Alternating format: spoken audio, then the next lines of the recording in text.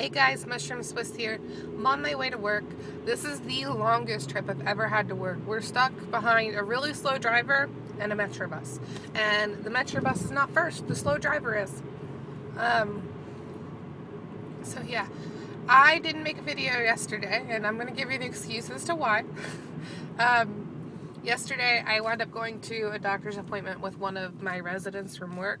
Um, they just needed a nurse to go with them, so I went and um, then after that, I had my own doctor's appointment because I had an ingrown toenail that needed to get removed.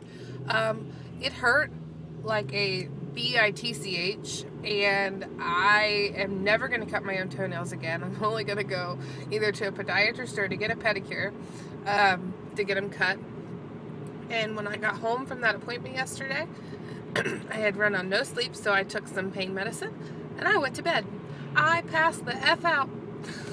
um, so yeah, there you go. That's why there was no video yesterday. Um, tomorrow morning when I get home, I'll make a video of what my toe looks like. It's gross. And it hurts. Not as bad as yesterday, but it hurts. So um, I go back in a week to have it checked out and then, yeah, that's it. So I will talk to you guys in the morning. Bye.